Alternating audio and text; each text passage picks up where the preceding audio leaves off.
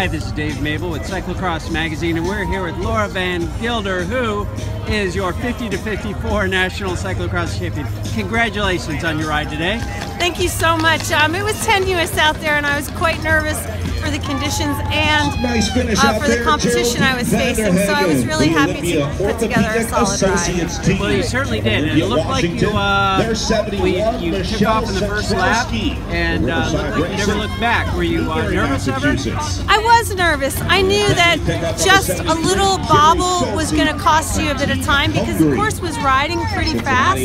So any any delay, any time on the ground, you know, would have brought back the competition pretty directly. So I was I was just trying to stay very steady and smooth and um, and I felt that if I had my own lines to choose, I might not feel hurried and rushed.